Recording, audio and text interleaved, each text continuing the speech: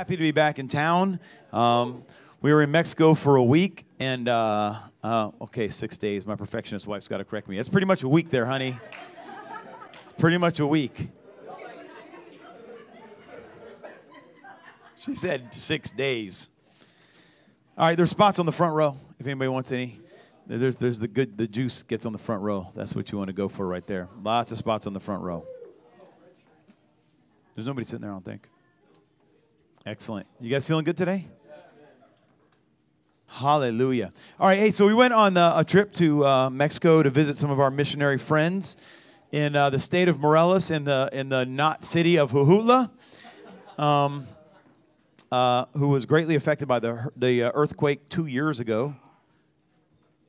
Check, check. Am I, am I on? Am I on? Am I good? Is there a sound man? Is there a sound man in the back? Make sure I'm on. Because I'm on. I'm on. Hallelujah. Hallelujah. Hallelujah. I feel it. I feel it. I feel it. I feel it. I feel it. I feel it. Any moment now. No? Yes? Do we have a sound man? Do we have a sound man? Can anybody figure out where the sound man?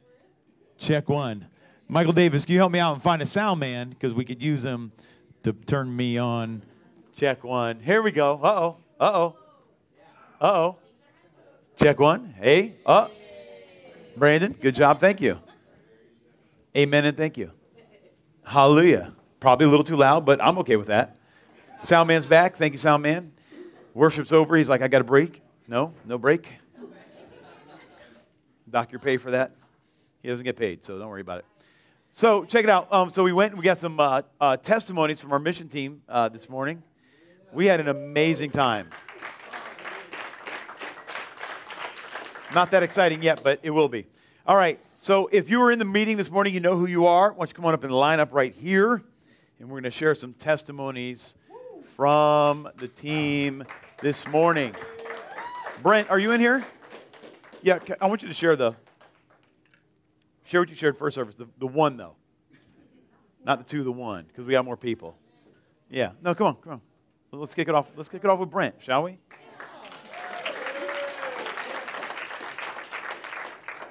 So Brent is actually in seminary right now. I am. I am. and um, and that's what prepared him for miracle signs and wonders. Sem, sem, Mm, not so much. Not so much. no. not not as this much. house prepared me to see signs and miracles.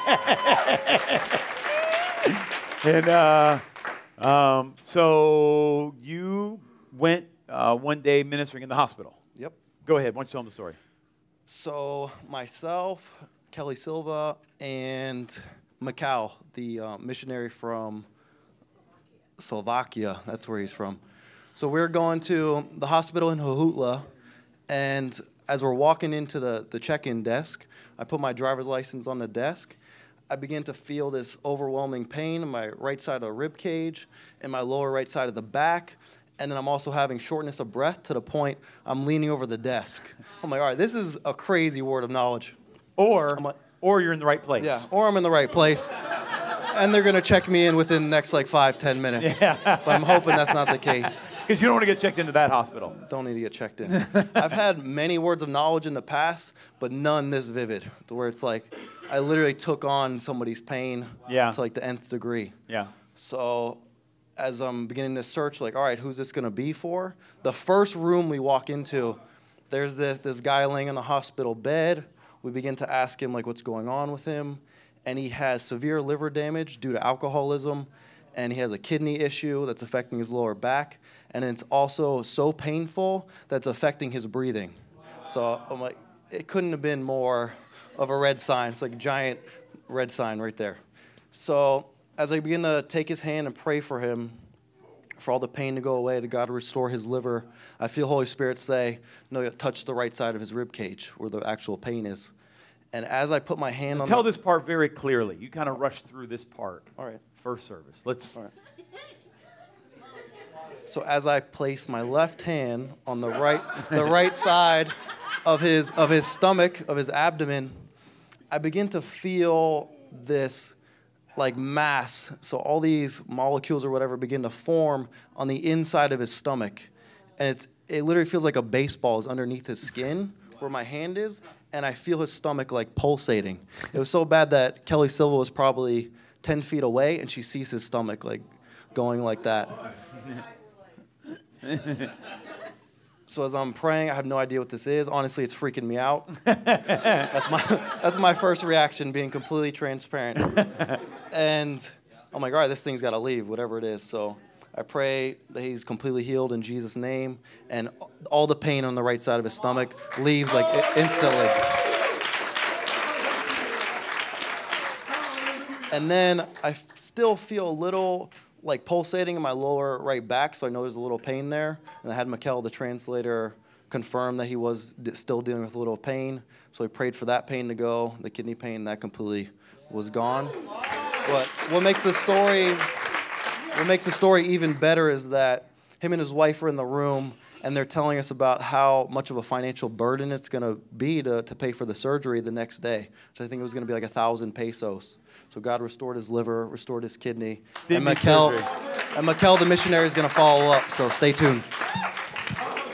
That's pretty good, huh? That's pretty good, yeah. Kelly, come here. Come on, Kelly. Let me let's let's do this. Oh, you want the second part of that? I don't.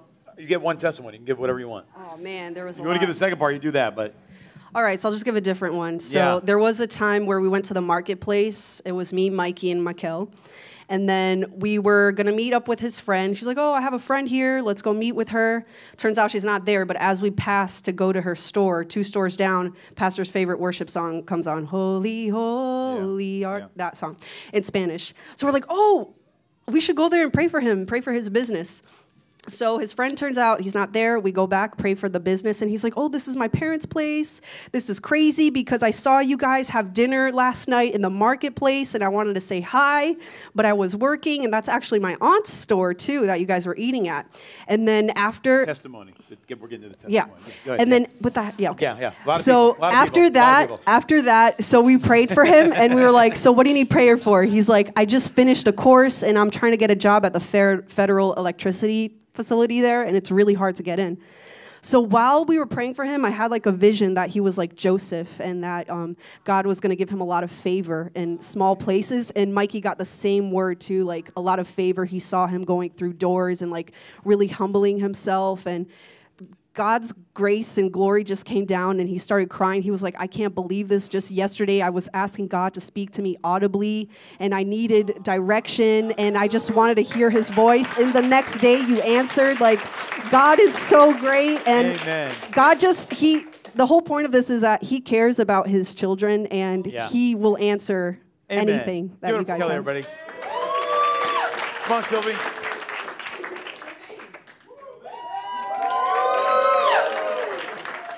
So, Sylvie, this is your first mission trip. This is my first mission trip. Yeah, did you have a good time? I had a wonderful time. It was awesome. It was awesome, right? Saw God do neat stuff? Amazing stuff. I wanted to see miracles and I saw them. You saw them. Plural. Yes. Plural. Yes. We have a funny joke around here. Like, uh, we, we were coming back from one of our mission trips to Nicaragua, and uh, there was another team there leaving at the same time.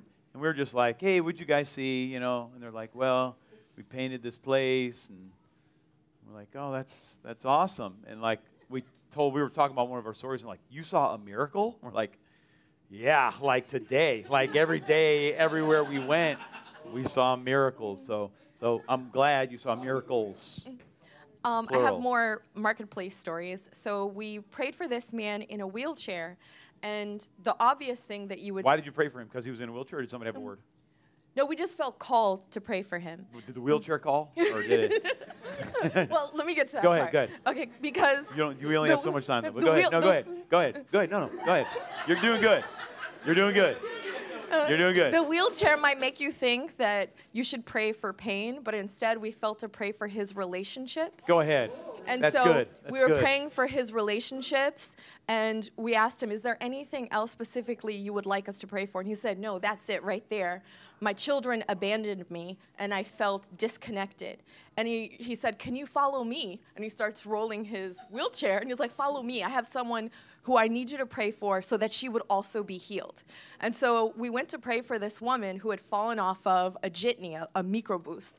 And she, her back was messed up, her um, her her legs were messed up, her um, her ankle. She had all this pain. She said that her, uh, they told her that she had had incredible nerve damage, and we prayed for her, and all of her pain started to dissipate.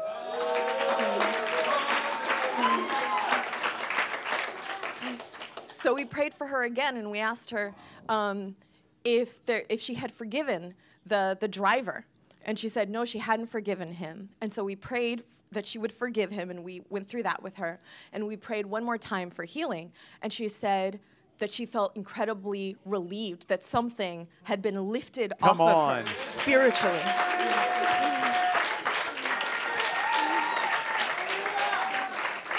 Let me ask you real quick, let me ask you a real quick question. Uh, do you do you minister to people for healing in their bodies a lot? No. No. No. That, that wasn't like something you did a lot No. before you went on the No. trip. Did you see people get healed on the trip I you did. prayed for them? I did. Pretty fun, yeah. It was fun. We were praying on Friday night, El Noche de Fuego, and you were praying. We were praying for people that the Holy Spirit would come into them and remove their spiritual wounds, um, have them see themselves as God sees them, um, that they Shabbat. would see themselves perfect and accepted, and they were falling on the ground, knocked out again and again and again. Go ahead. Go ahead. Go ahead. Go ahead. She was going to get back in line. Like, I got some more. I got some more to, to share. You right? Come on, come on, Chelsea. So Chelsea preached. Um, Chelsea preached. Where did you preach? You preached at a church with At Paula, right? In, church. In Cuernavaca? Yeah. How'd that go? That, that was that, oh, that was good. You preached good. I remember Yeah, that. that, I that wasn't church. there, but yeah, the church I guess didn't evangelize at all. Didn't go out in the streets. So they picked the right preacher to come in. yeah, so it was definitely appointed. They picked the right preacher to which come. was a relief. They to picked the know. right preacher to yeah, come. I was very relieved that my message applied. And yeah, so people got wrecked, and the worship leader saw Jesus, and he was just wrecked. Like we saw Jesus in front of him, and he was like, it was he was a hot mess. He was just like it was a life. You could tell it's gonna be a life changing. They come unglued. Yeah, When people look like someone took the bones out of them yeah, after God touched them. yeah, yeah. yes. And the team was amazing. They were laying hands on everyone. People were just out on the fire of God. It was, it was awesome. A man got healed. Um, it was great. Hallelujah. It was great. Um, but the one testimony I want to share Did was, Paula translate for you? yeah, she did. Did she, you do her karate chop screams? she did in the beginning because there's warfare in the middle of service. Okay. This lady's a. she's gonna come here, and uh, She's she- amazing.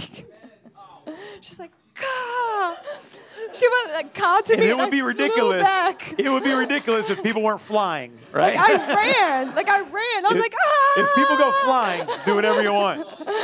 They're not flying, just shut up, please. Yeah, right? It's, it's great. But they were flying. Yeah, so. she was a great translator too. She Was really she? kept up. Yeah. All right, she'll be here. So. Yeah, she's awesome. So uh, we, I went with her and Brent to the brothel, and she's in charge of the brothel. Ah. She's been doing. Um, No, wait, wait, wait. She's not in charge of the brothel. She's in charge, In charge of the brothel ministry. Ministry. I'm sorry. There's a yeah, difference. brothel ministry. There's a difference. But speaking of There's that, there's a difference. Yes, Yeah. yes, yes. Yeah. She's in charge Yeah. of the brothel Yeah. Ministry. Yeah. yeah. Thank you. Thank Let's you for having a me. little yes, bit. yes, yes, yes. It's amazing, and she keeps them women in line with the karate chop. Yeah, yeah. That's funny. Yeah. She's been doing it for nine years in Texas, so Oh, she's wow. really awesome.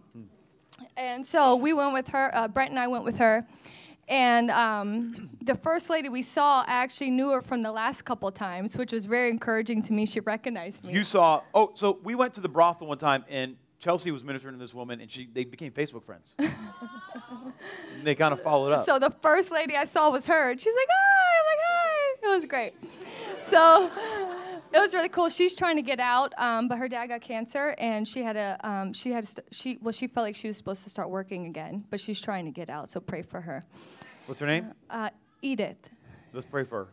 Pray for her right now. Uh, Father, we lift Get up her Edith right now, Jesus. You got we a job for her, freedom, Jesus. God, You miracle got a money job over for her. her. Jesus. You got a job for her, freedom, Jesus. You got a job for freedom, her. that you would give her a job, Lord, a job, guide her path, Lord. Amen. In Jesus' name, give her courage, God. Give her Amen. boldness to get out, God. Amen. Let her have faith to get out. In Amen. Jesus' name.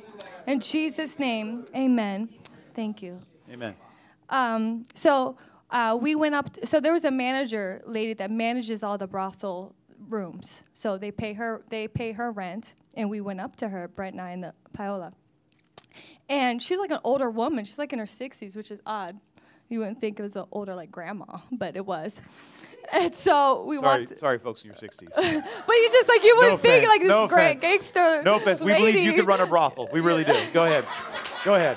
It's just you would you would think it was just like some mean gangster old you know Dude, older guy. yeah. Yeah. No, so anyways, no. so um, she was there with her, some guy, maybe an assistant or whatever. So we um, went up to her. Uh, Paul know, know, uh, knows her, and we so we laid hands on her, and I just felt something God was going to do something in her heart. And then uh, Brent had a word of knowledge that she was carrying all this burden on her. I bet. So, um, so we prayed for her, and she started feeling freer. And then we asked her if she had any pain, and she had pain coming in her arms, like both arms. And uh, we prayed freedom over her. The pain went totally away. This is the manager, The manager of the brothel. the manager of the brothel. She was like so shocked, like she was just so happy. She kept feeling her arms. She was like really shocked. And we asked the guy that was next to her to come over. Meanwhile, there's a police officer that's guarding her, and the brothel is illegal. Right. So that's even just a crazy circumstance to be in.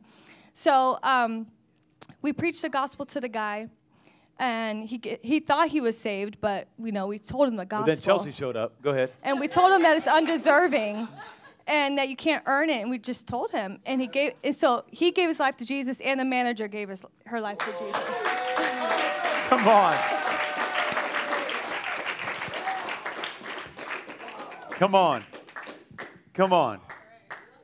Come on. Come on. Come on. How about Jesus heals brothel owners or brothel managers?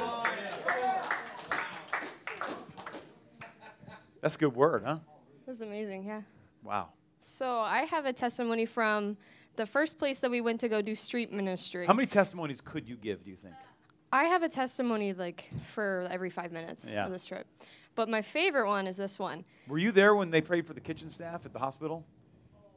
The kitchen staff, no, I was in the maternity wing.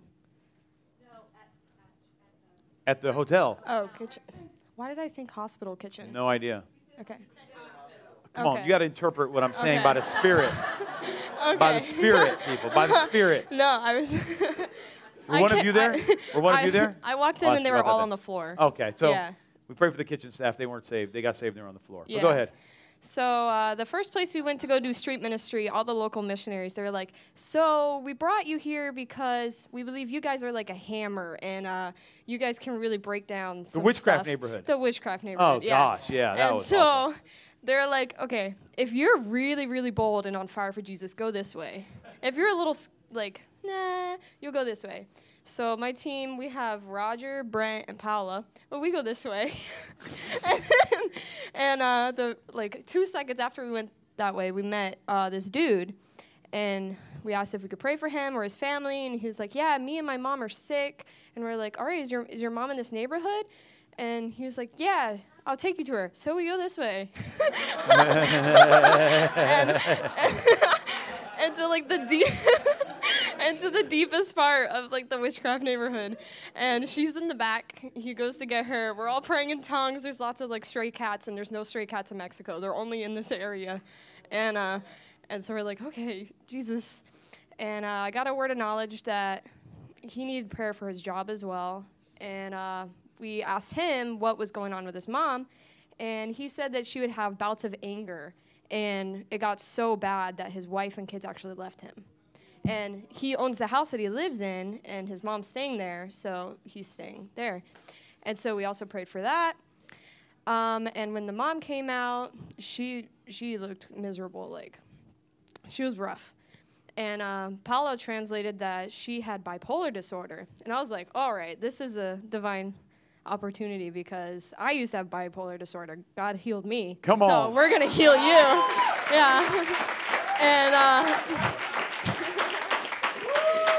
and uh, so we prayed for her. She starts crying. She rededicates her life. And then we also lead her in forgiveness for her mom and whole family. And uh, just like the people told her all this stuff that happened to her was because of things that she did. And we're like, that's a lie. And so we broke all that off. And then as we go to pray for her son, she's praying behind us. Like she's praying with us. Come on. and uh, sh- you could tell she was completely changed. She was smiling, happy, looked lighter, and uh, so we start praying for the son. And um, like I said, we had a word that we need to pray for his job. Brent saw construction, and he's like, "I can't get this out of my mind. Like, are, are you in construction?" And he was like, "I can't. Like, I used to, but I got sick and stuff." And um, so we prayed for that in his job, and I started seeing that he was like, God was the architect of the family, and he was the builder, and he had to like build up and support his family and like bring word. it back together. And so we prayed for him. It was good. And then he came to Noche de Fuego Friday night Yeah. To sell. Like he had a ton of purses that he's been selling on the street because Right. um, Brent said, if you if you if yeah, I- if you come to Noche de Fuego, I'll buy a purse off of you. Yeah. And so he came to just sell one purse, but he bought like he brought all of the purses. And uh, he answered the altar call and was on the ground for like 20 minutes. Yeah. Yeah. And uh, yeah. And and uh, it, it, he got healed or whatever he had. Like Yeah. they prayed. I don't. I don't. Rem- I didn't pray for him at Noche Whatever. de Fuego, but he got healed. And so after service, like we had prayed that his business would multiply and that he would be able to sell all that stuff. And he sold like 50 purses. Like Praise God. he sold like a million of them. Amen. Amen. Come on, Chris. What you got for me, man? What you got, Chris? Hallelujah. Hola a todo mundo. so, tons of miracles, um, tons of miraculous things that God did. One specific thing that Jesus did, which totally wrecked me. On a night Chelsea was preaching, she preaches fire, by the way. Shout out to Chelsea. Um, that it came ministry time. Um, we're all just going out doing our thing, and there was a one guy. His name was David. He was wearing like a red sweatshirt. And I'm like, hey man, like, what can I pray for you for? He's like, oh, I got an accident. Um, I fractured my hand. This is a hand good one. His hand, This is a his hand was like right completely jacked up. Like he couldn't even give me a high five. I'm like, his hand was just like this to give me a high five. So then Chelsea and I were praying for this guy. I'm like, on a scale of one to ten, where's your pain at? He's like, oh, my pain's like at a seven. It still hurts. Not really a lot of mobility. All right, we're gonna pray again. We're gonna see God do miracles because He did miracles before. We prayed again. It came down to a two. And then Chelsea just kept ministering, and then Brent came over. I'm like, "Hey, what's Brent- up, Brent?" Brent is the word of knowledge Brent has beast been seeing some stuff on this trip. So this guy David You, just sitting you, here. y'all need to have, just invite Brent out to lunch. Invite Brent, man, ask just- him. Ask him for some stories. This man was he, walking around with a sledgehammer, yeah, and just just going after Oh it. my gosh! So, dude, David's just staying there receiving. Brent comes up and just puts his hand on his shoulder just like this. This dude feels electricity to go all throughout his body to his hand. Guy's hand completely healed. No pain. No pain whatsoever. And mobility. Right? Mobility was back. But wait, there's more. But wait, About three minutes later, the dude comes up to me and prays like, "Guys, come here." So we walk over. He's like, "How do you guys operate in this uh, this energy? What do you guys?" And we're like, "Dude, it's not us. It's Christ in us, flowing through us that heals you." This guy, backstory to this guy, David, he was searching like every type of religion to find God. Like he was literally going after, going after it. So the point of it, man, no matter where you are in life, God's gonna find you. He's gonna touch Come you. on. He's gonna heal you. He's gonna encounter you. Amen. You remember one more healing? You have one more healing testimony? Yeah. One more healing testimony. More, Um, we're in the more. marketplace. Wow. And um, Shaba. uh, I don't know. Is Cassandra here? What's up, Cassandra? So Cassandra was here. Um, we saw a dude walking. You can't tell that guy. he you had- can't tell him. I'm gonna talk about him later. All right. Wait, wait. yeah, that's that guy. I got a picture and everything. Um, Actually, no, no. There's a guy. There's a picture of a guy with crutches. Put him up. Okay, go ahead. All right. So this dude, check him out. Um, he had one crutch, He had one crutch. one, and one crutch, cane. and one cane. That's so how he had to walk. Me- yeah, it was Mexico. It's, it's really bad down there. One crutch, um, and We one don't know cane. if he needed two crutches and only have one. We don't know exactly, but he was Yeah, walking with a crutch. He was cane. walking, and then I'm like, Cassandra, let's go, let's go after this guy. We pray for this dude. Well, here, here's the thing. Cassandra had a word of knowledge, but she was terrified to do anything with it. And we're like, today's the day, Cassandra. Yup. Today's the day. Like, what do you think? She goes, I think I have a knee, but I don't know what to do it. And then this dude comes up with one crutch and one cane. I'm like, like we're talking about it, and this guy comes up. We're like, could be him. Might be God. So they go up to minister. Go ahead. So, th- and then we see this guy. Um, we lay hands on him. We said, "What happened?" He's like, "Apparently, he got in a, uh, got hit by a car." He was car, driving a motorcycle Yeah. and a truck ran, ran over, over him. him. Yeah. Yeah. Yes. So having a bad. really hard That's time bad. walking. Had a hard time walking after Yeah. that. Yeah. It'd have been six or eight years. Six years, I think. Yeah, it was- six years. insane. So we lay hands on him. He immediately starts feeling the presence of God. We're like, what's happening? You know, on a scale of one to 10. Again, he was probably around a six or a seven.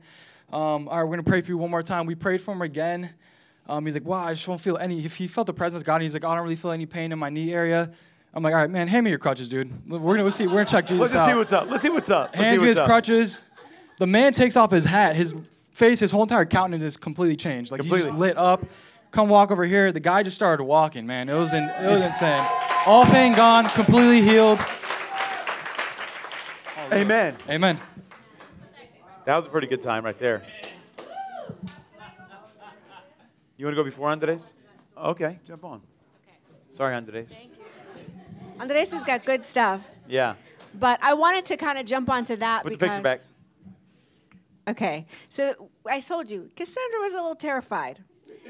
And um, for, for me, one really amazing part of the trip was seeing people who have not before operated in these kinds of gifts, getting words of knowledge, screaming fuego on people. And uh, like for me, it's exciting to see how much the team grows. Um, and as much as we were giving out, we were receiving. Like we were just receiving so much to be used by God, and it was really cool to see that. She wasn't terrified after that. Noche de Fuego, she was She's going calling in. down. She was going in. So, yeah, it was really cool. And so I got to, um, you know, I. I, I did pray for people for physical healing and also emotional healing. And one night we were at um, a cell group where um, Christopher Rajkumar and Andres uh, preached, and it was really good. And it was a um, church plant. It was a church plant. That's, they, they- call it a cell group, but it was a church plant. yeah, I- I mean, it was a lot of people for a yeah, cell group. Yeah, yeah. It was a church plant. And um, and a guy, anyway. they have worship, and a guy preached the message, and there was an altar call. That's a, Yeah, a and there was an plant. al- there was an It's a altar. church plant. There was like an altar thing at the Yeah. front, like a church. Podium. So a podium. Thank you. Here for you. So um, when I got there, now we are when we go there, Kaleo, one of the Kaleo churches is Kava, and they are I, I don't know if they're a larger church in the area, but they are our friends. There's Pastor Josue and his daughter and his wife. We're all friendly with them, and their parents. It's 12 after, honey. Just, Okay, uh, their parents are the leaders of the small group of the of the church plant. Yeah. And they're the grandma. She's like this sweet little lady, and she comes up like kind of, and everyone was helping her up to the front. She said that she had fallen in Walmart earlier that day, and so she was in a lot of pain. That's a store they have in Mexico, Walmart. It's, Wa- Walmart. Yeah, Walmart. So, so she had pain in her um, in her her shoulder and her arm, and I prayed for her.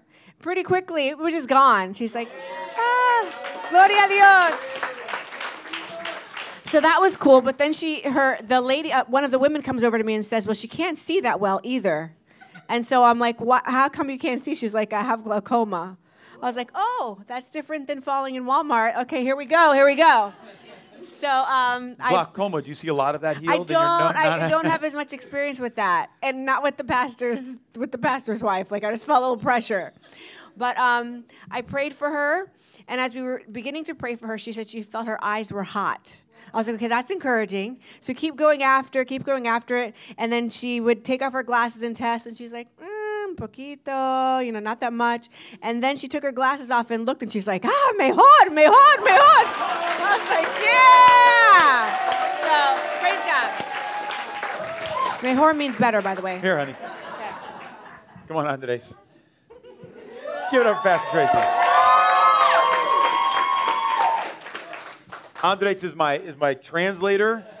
I uh, I would let them know. It was so funny. Um, uh, we um, we go down there and um, how do I say this?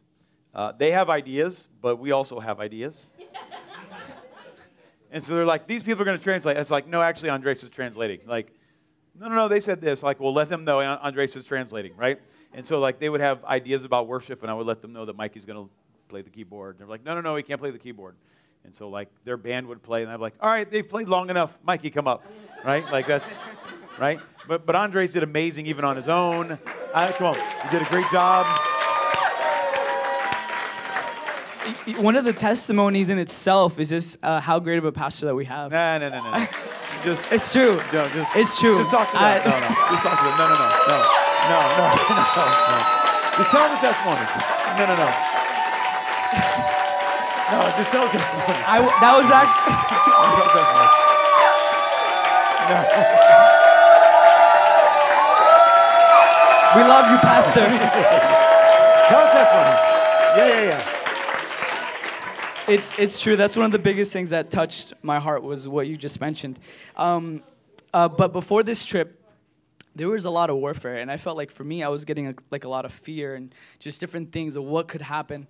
Um, and I remember because I work in customer service, I was talking to somebody who lives on the Mexico border, and I'm like, "Oh, I'm going to Reynosa, this and this," and they're like, "Don't go," and they're like, "Je- "Yesterday, this and this happened," and I'm like. Oh, great. That's good to know. Thanks. But I knew I was supposed to go on the trip. So I'm like, all right, I, I feel the fear, but I know I'm supposed to go. And um, I remember the, the first thing that happened after we left the airport, we got pulled over by the police. Oh, yeah. And at that moment, every thought that I was like pushing away was coming back. I'm like, oh my gosh, we are probably gonna go to jail. Andrew Brunson, oh Lord, like different things. I'm like, okay. But I remember um, I felt like I had a choice. And I was like, I could entertain those thoughts or I can just encounter Jesus. And I feel like God made it so easy to encounter him. Like I just started singing in the spirit. And something that Pastor preached a few weeks ago was um, how Jesus is King of Kings and Lord of Lords. And that how when um, John was caught up, he got to peek into heaven and he could see that was settled. Um, and I felt that same thing, like it is settled. Like, okay, we're pulled over, all this is happening, it is settled. And I just was encountering God's peace, like it just kept flowing. I'm just singing. I look out the bus window, I see like butterflies in the air, and I'm like, this is amazing. Um, and like I just I got like these thoughts of hope. Like, imagine if they get called away to go do something else. Imagine like you know you're gonna be fine. And then literally that's what happened. Well, well right? what the backstory is, they were waiting for a bribe. yeah. They pulled us over because there was no license plate on the trailer we had, and they wanted a bribe. And they just, as missionaries, like, we, we, we're not going to bribe you. We were, we're not going to bribe you. And so they were trying to discussing, you know, take you to jail, we can do what we need to do. And, uh, and they said no. And uh, eventually, uh, they wanted a bribe, and we said no. And we wound up praying for the police. The, the, the missionaries wound up praying for the police before we left. Well, go ahead. Yep, and that, that was everything. They got prayed for, they left, and we just Yeah, they got called away. Like in the minute, there's like, oh, there's an accident. You're lucky. We have to leave. And then they, out of nowhere, they left. They said, well, you're free to go, but make sure, make sure you know you do whatever. So, so we got out of that. No, you got, you got a better testimony than that. Come on. You saw a lot of miracles. Go ahead. Well, uh, all right. The first day when we went to that like witchcraft neighborhood, um, that morning, Josh texted me. He said, um, "I feel like God's gonna use you to to heal like blind, uh, deaf ears." And so I'm like, "Okay, well, let's go." And so I was with Sarah and with Ro, and we go into this shop, this just like regular store, and we're praying for the shop owner there, you know, and then. We're blessing her. We're really not getting a leading, you know, just blessing her. I think Sarah had a few visions for her.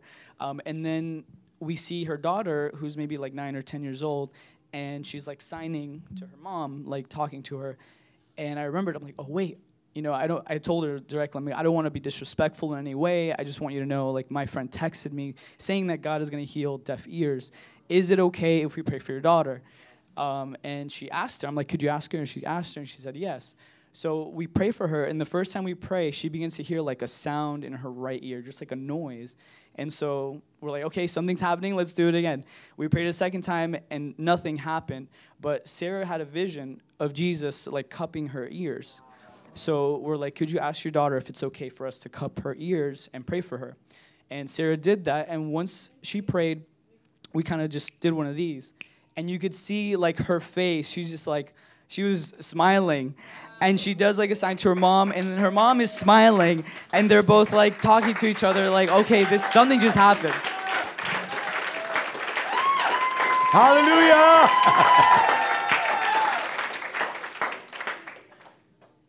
And that was it. What was it? Something happening? She started hearing. Is that She started hearing, Okay, well that's a good end to the story there. Give it for Andres, everybody. Real quick, we normally don't do anything fun on mission trips, like because we don't stay that long. And uh, but this time they had a uh, again Um, I like to set the agenda. And so they had on our agenda uh, on Thursday morning, I think it was, or Wednesday morning, Thursday morning, we were going to work on their missions base, like do gardening and uh, clean up. And I was like, we didn't actually bring any gardeners. Uh, and uh, how about we just give you an offering? You pay somebody to do that, and we go do something fun that morning, right? And so we went to this place where there's these natural springs, and I'm like, is there something we can jump off of into water? Like, yeah, I'm like, that's our spot. Let's do that. So we did that for a long time. Then there's a place where you can kind of wade in the water. And so while we were there, Andres and Chelsea start witnessing to the, to the people out there also in the water. And we wound up leading some people to salvation. And we water baptized them while we're hanging out in this water. okay, take down the flesh. Take down the flesh. That's enough flesh. All right, thank you. Excellent. If you got a Bible, you can turn to Matthew uh, chapter 10. I am, I am only going to be a moment. Um, I'm not going to keep you here long, I promise you. Um, uh, crutches, cane, mechanic. Kevin Vargas is not here. Are you? Is he still home on the mend? All right. So uh, I, uh, as you turn to Matthew chapter 10, we had a really cool. Um, we were walking around the demon neighborhood, and uh, it was really not a good time. Uh, overall, it was really, really hard there. And uh, Kevin and I, it's, it's, this is kind of cool and funny at the same time. I'm going to tell very quickly because I want to teach something real quick. Um, there was a guy who was a mechanic who was working on a car. We asked him, Is there anything wrong? We can pray for you. We had a word of knowledge about his knee. And uh, in 1996, uh, when he was living in the United States, he got run over by a truck or hit by a truck, one or the other, destroyed his pelvis. And, uh, and so, yeah, knee, right? And so um, we prayed for him. And he said he, you know, has takes pain pills every day, and uh, he got just gloriously healed, which was awesome. And he kept saying, "I couldn't do this. I couldn't do this." We're like, "No, no, we totally believe you." He's like, "No, I couldn't do this. I couldn't do." I'm like, "No, no, I, I heard you the first time. I, we just, I'm tired. It's a demon neighborhood. I'm doing a lot of spiritual warfare. I'm really excited, even though I don't look excited, right?" And so, like, he's just so very excited uh, that God had healed him. Here's the funny part: we give you all the uh, the mountaintop things Kevin like sees the guy walking and one leg's a little shorter than the other, and Kevin's like, well, he's healed the knee, he's got hip problems, he's clearly going to stretch out his leg. And so the guy goes to sit down in, his, in the truck he's working on. I said, Kevin, don't touch this man until you're filled with faith. See, Kevin had not recognized that on the man's, the man had a shorter left leg, and so he kind of walked like this. But he, Kevin didn't notice, I did, that the guy had like a five inch platform under his left foot. So we're talking about a good seven inch stretch this man was going to need. Now, I got faith for about an inch, inch and a half. I don't got seven inch faith, but I'm like, man, Kevin, if you got seven inch faith, man, I'm with you, but don't touch him until you get faith. So Kevin gets the guy to sit down, and he leans down, and he grabs his foot, and for the first time, he sees the platform. and then I'm just like, come on, bro, let's do it. Kevin prayed so hard he was sweating. I thought he was going to sweat blood at any moment. I thought Elijah and Moses were going to show up. was, needless to say, the man was happy that he was able to walk without pain after that, and he still has his platforms. Hallelujah. So, you know, not, not everybody gets healed. Amen? Uh, but we said, Jesus still loves you, and uh, come to church. And he said, Amen, I will.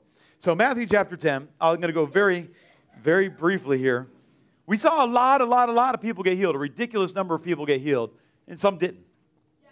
Why did the ones who didn't? I don't know. Uh, but I know a bunch did, and I rejoice in that, and I believe that more will. And I believe some got healed after, you know, they woke up in the morning yesterday and they were healed, or today they're getting healed, or they get plugged into a church, or, or, or you know, I don't know. I don't know. I don't know. But I know God heals. Amen? Amen. We had a good time, though. Matthew chapter 10. I'm going to read uh, just a few very brief uh, verses here. Uh, uh, I'm going to start in uh, 5, but you're going to start in 7. Jesus sent out the 12 and he instructed them, verse 7 As you go, preach, saying, The kingdom of heaven is at hand. Heal the sick, raise the dead, cleanse the leper, cast out demons. Freely you received, freely give. Now it's funny, he said preach, and then he gave several examples of what preaching looks like. Right? Preach, several examples of what that looks like. Now, we need to preach the Word of God. We need to tell people about Jesus. We need to understand. I find it extremely profound that Jesus loved both the prostitute and the woman who is owning the prostitutes, that he healed them both. I, I just think in that is just beyond our capacity to love. It's beyond our capacity for compassion. I just, we want to punish one and we want to rescue the other. And the one is there just like a job, the other one's there just like a job, and they're both in sin, and Jesus loves them both. It's just, it, blow- come on, it just, it's, it's a, like, like they say in that Hillsong, you know, it's, it's a grace that could never add up. You know, it just doesn't, it just doesn't make sense. But Jesus, that's just the love that he walks in. And so we just really believe that God will give people words. Like um, I heard Randy Clark years ago say, uh, you know, um, I take people to Brazil to get them activated in the gifts, and I was just like, I could probably do that. And so I just started taking teams to Nicaragua, and it started happening. Um, and so that's why we go on these trips to get people activated. Because we want people to experience God and operate in the presence and power of God. I want to tell you a quick story. Um, um, you know, we get nervous about what's going to happen, but in, in Matthew chapter 10, he sends them out. And then he says in verse um, 19, he says, When they hand you over, don't worry what you're going to say, for it will be given to you in that hour what you are to say. For it is not you who speak, but it is the Spirit of your Father who speaks in you, right? It's the Spirit of your Father who speaks in you. we got to have a relationship with the Holy Ghost. We need the Holy Ghost. If there's anything we've been talking about for a month now, it's you need the Holy Ghost. We need to have a relationship with Holy Spirit. So we were uh, we preached at a church. Um, one night we split up. Chelsea went to one church. I went to another church. We like to call our team the A team. Not not not, not for any specific reason. We just called our team the A team. Uh, and uh, A for Andres because he was on our team. Um, um, so we were um, we went to this this this, this church, and uh, we like to say there was how many people? Less than a thousand people there, right? Less than a thousand. It was about fifty, right? But but it was less than a thousand. Um, you know, we're counting it like missionaries. we're counting the people, the angels, the testimonies to come. You know, um, and so this was really cool. The, the worship was um, not it was good, but for whatever reason, I could not sense the presence of God at all. Uh, and so Sarah, um, Sarah was dropping prophetic bombs everywhere we went. God was using Sarah in profound ways, uh, in both, both prophetically and uh, in healing. It was really just many people, uh, but really kind of stand out like abnormally powerful was Brent uh, and, and, and Sarah. Um, just really abnormal, the, the level um, but although many, many, many healings. So uh, Sarah was with me because I'm, if I'm ministering, I'm bringing the person who's dropping bombs, right? Um, Chelsea was going to the other place, and Brent's a big guy, so I wanted Brent to be with Chelsea uh, in their team. Just because he's, he's imposing, if nothing else, right? so even, you know, right? Even if he's not going to spiritually do something, he can just physically be there and say no. So, um, so, so I'm expecting Sarah to kind of, you know, kind of carry me. And I'm like, Sarah, what you got? like, I'm like, I'll make her prophesy to start the service, you know. Uh, what you got? She's like, I don't got nothing. I'm not feeling nothing. I'm like, all right, so uh, what are we going to do? So worship ends, and I get up and I say, okay, uh, have you guys ever heard of words of knowledge? No, we never heard of words of knowledge. So I tell them very, very, very briefly, uh, you know, we're going to call out some things, and if you have this problem in your body, we want you to stand up. So we started calling out uh, several ailments. Uh, and uh, people started standing. Uh, one was like a pain in the neck, one was like a shoulder. We're like, if that's you, put your hand up. And so this woman was like, you know, that's me. And we you know, figured she was shy. It's me. All right, okay, you know, be bold. Uh, and so we have them stand up, and uh, they had no idea what words of knowledge were. So we started telling them, I preached three, maybe four minutes, I mean, ridiculously briefly on what words of knowledge for healing are. And we tell them, hey, God is not a gossip. He would only tell us what's going wrong with you if he wanted to heal it. The only reason he would tell us. He wouldn't tell us it just so, you know, there'd be something bad to say about you. It's only because he wants to heal it. And so if you're standing up, we believe that's because Jesus spoke to us by his spirit that tonight is your night to be healed. And so we just feel like that's going to happen. And then I said, now go ahead and check your body and see if anything is different. And so if you're if something's different, I want you to wave at me. And the shy lady is now waving at me. I'm like, cool. Uh, if, you know, if you feel like things are better, I want you to come up. And we had like, I don't know, three people come up out of the, uh, the, the, maybe dozen or so that, that stood. And the lady who, who, who waved at me real timid at first, she gives her testimony. She says, Well, I couldn't use my shoulder, so I could only wave like this. But now I could do like this when I wave to you. And that was cool. That was cool. But she said, No, but I had a goiter on the back of my neck this big, and now it's gone. I'm like, right? That's pretty good, right? Right, that's pretty good, right? And so then we had another lady who, like, her arm was dead and it couldn't move. And I don't know, there was like three, I don't, maybe four people uh, were completely healed. And then I'm telling, them, and there were still people standing. It's like, you know, what's kind of neat about this is we haven't actually prayed for healing yet. All I did was told you what a word of knowledge was, and people are healed, right? So probably going to be a good night tonight, right? We're probably going to have a good time in here, right? And so they got excited, and so then we actually started praying for people uh, to be healed, and uh, and and all in all, uh, you know, I, I had people come up give testimonies. We had I don't know 13, 14 people.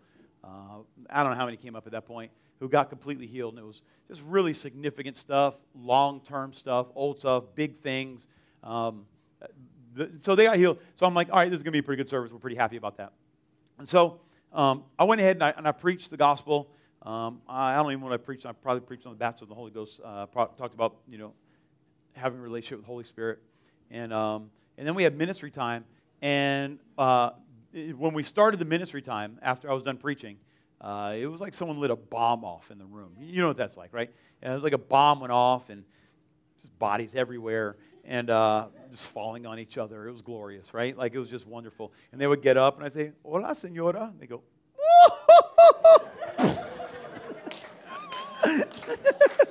they get up again. And, Hola, senora. ¿Cómo estás?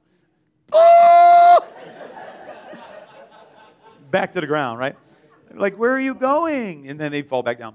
And, um, and so that went on for a long time. We had a really good time. We had some super, super, super significant inner healings, which I love um, some heart healings, some prophetic words. People got physically healed. It was super awesome. But I was super tired, and I was trying to be very, very careful not to almost die from the food on this trip because I've had that happen before, and we were like, like, oh, that lettuce looks amazing, but I know you washed that in the same water that you use the bucket to flush the toilet with, and I'm just not going to eat the lettuce if that's okay. Stomach thing, please no. And so they, um, you know, they feed you at the church after the service. That's where the food is. And, uh, and, and not for nothing, I don't like eating dinner at 10 o'clock at night, right? Like, that's not when I want to be eating tacos, right? Like, I don't want to have tacos at 10 o'clock at night with toilet water lettuce, right? Like, it's just not, it's, it's not, it's not, it's just not what I want to eat, right? But they're so beautiful to you, they're so nice, they're so polite, you want to, you kind of want to, you want to honor them. You know, the scripture that says, you know, eat what's placed before you, that, that wasn't written to me. I don't know who that was written to, but that wasn't written to me, right? That, uh-uh, no, thank you. you. If y'all got Walmart, you can get me some packaged food. That's how I feel, right? So uh, it's just, you know, and so I'm trying not to get sick. I'm only here for six days. I'm not trying to bring anything home, right? Um, and so I'm exhausted because it's like night number four. I've been ministering, like just completely wiped out. Uh, ministered for a very long time. And then, uh, you know, they're, they're, they're, serving me the, the cholera, you know, uh, food there. And uh, I'm trying to avoid it.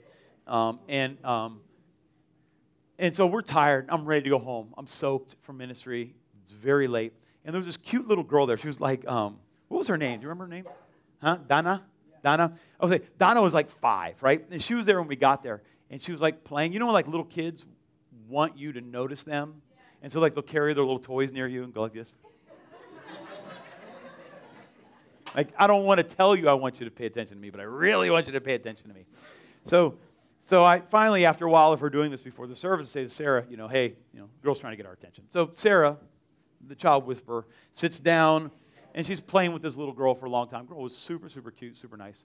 Uh, after service, the girl is still out there. It's like 10 o'clock at night now, right? And she's just as, just, just as loud as she was earlier, just super loud. And she's marching around singing her Christian songs and doing the I'm in the army of the Lord. Amen. Adios. You know, like doing this thing and yelling it. And it's 10 o'clock at night, and I'm thinking, like, where are her parents? Like, like now's a good time to put your five-year-old to bed. You know, I don't know, 10, 10.30, walking around outside barefoot. Now'd be a good time to put your kid to bed.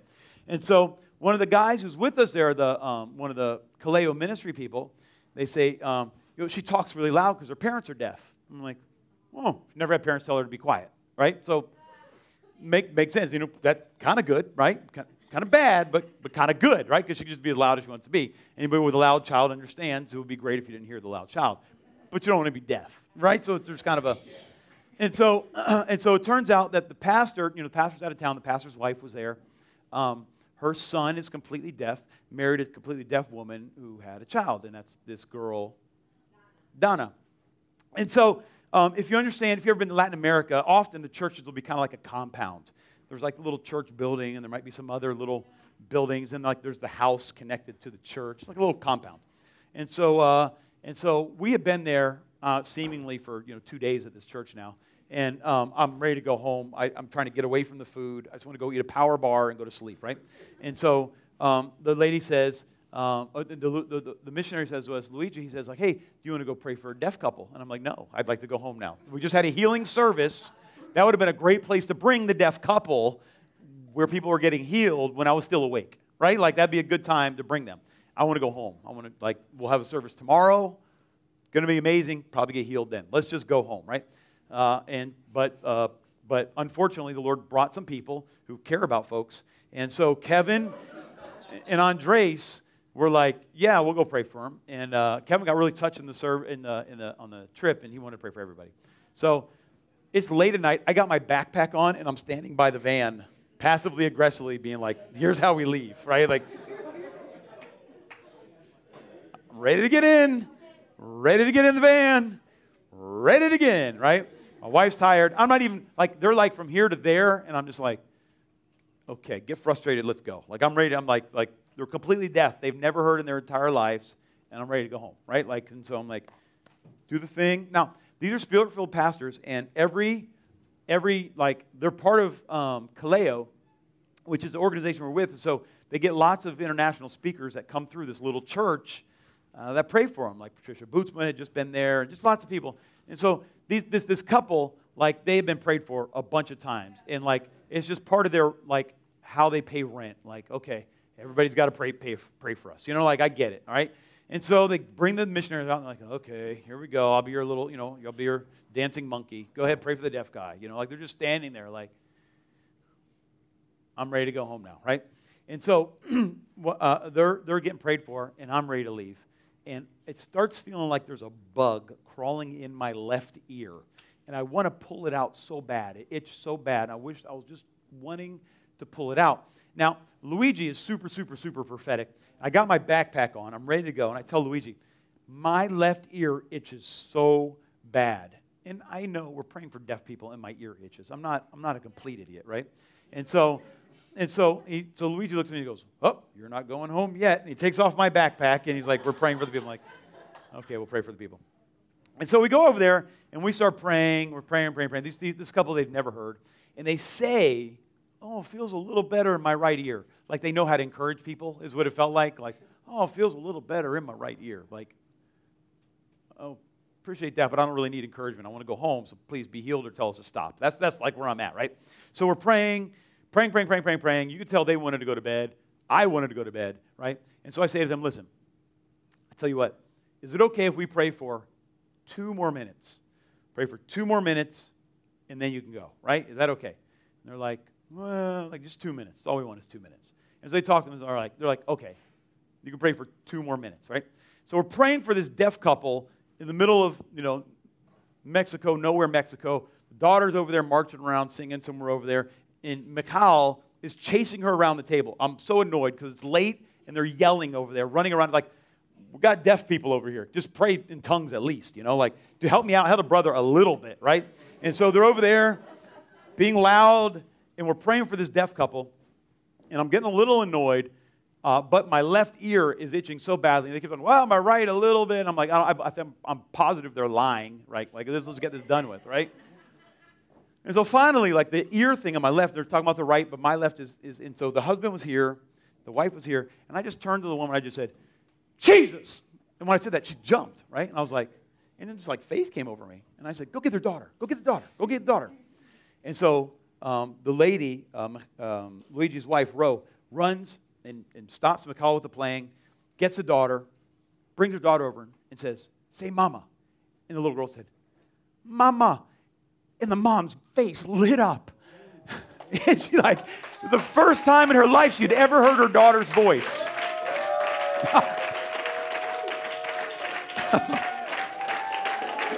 oh, Jesus. And then she said, Papa. And, the, boy, and then she the guy looked and like his face was flush. And the little girl starts dancing. My mom can hear, my mom can hear, my mom can hear. And, and it was it was Michael, uh, it was Mikey, myself, and Sarah, and Andres and Kevin. And at the very same moment, when the girl's uh, face lit up, all three of us, me, Sarah, and Michael, is like I, I can't even describe to you what this felt like. We both had to, we all three at the very same moment had to turn away. It was almost like the holiness of God. Not, I mean, not even the miracle, not the power, not the electricity. It was like the holiness of God just landed in this one spot. And it felt so holy. I like I couldn't even look at it. I, I didn't even know if I would ever be able to tell this testimony. I was like, I, I can't, I just I can't even look at this right now. It is just so holy. This moment is so holy that I can't like we're, Michael and I got we got back in our room that night and we're like, I, I can't like for the first time it made sense when they said all the works of Jesus, the, the books of the world cannot contain them. It wasn't the volume. It's like words cannot contain the amazingness of God and what He does in our midst. I was like, just words failed what it was like to watch a woman for the very first time in her life hear her daughter say, Mama. We were just wrecked, just absolutely wrecked. Like, like, like just if I'd have just had the goiter, like I'd have told that story a lot longer, right? And like that'd have been the, and that would have been enough for that meeting. Like that would have been enough. Like the meeting was already amazing. And when he blew up the meeting, that would have been enough. And like I didn't even want to pray for these people. I mean, deep in my heart, of course I did. But I didn't even want to pray for these people. I wanted to go home. And yet and still, just like the prostitute, just like the brothel manager, God went way beyond my issues. It poured out his grace beyond my capacity to love. It, it I, I, I, don't know. Uh, it's, it's, it's more than I can even describe. Um, and so we brought the mom over and said, Come, let's, why don't you watch this? And so we first tro- told the dude to try to talk, and he, he didn't know how to make sounds, right? And so when we started talking to them again, we're talking, he's like, we're, we're all around, we're rejoicing, celebrating. The, the guy's going, shh, because it, it's too much. It was like too much for him, like he'd never heard before. And all this input was like he's covering his ears. He's asking us to be quiet because he didn't know how to process all this stuff that was going on. And his mom is losing. We got a, we got a video uh, uh, testimony. I'm not going to show it because we don't have it ready, but we actually have it on video of the guy testifying of it. And so here, here, here's what I would like today. Um, we love Miracles at Revival Life Church, not because we're looking for a notch in our belt. That's like, that is, it's not about us. It's about, it's about the glory of God on display in the earth. It's about people knowing Jesus. It's about people knowing Jesus. So, why don't you stand with me real quick, and um, we're going to pray. And I went a little longer than I meant to, but uh, mission team, if you're here, come on forward, please. And here's what we want we just want to release to you what, we, what, we, what, what God had freely given us in this service. And I just feel that God, God wants to touch some people. He wants to share his glory with some people.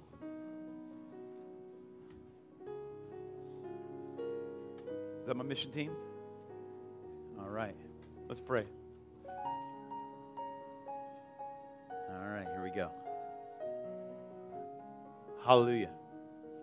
Hallelujah. Hallelujah. Father, in the name of Jesus, you're just a really, really amazing God. You're really amazing. And Lord, it's not our goal to out convince people or out argue people or out righteous people. It's really our goal just to love people and let them see you. And Father, I pray that you would increase our capacity to love you would increase our capacity bring you into the room with people who need to know you. Father, I pray today that these uh, testimonies will stir up a hunger in people's hearts for more of your presence and the ability to manifest your power on the earth. In Jesus' name. And everybody said,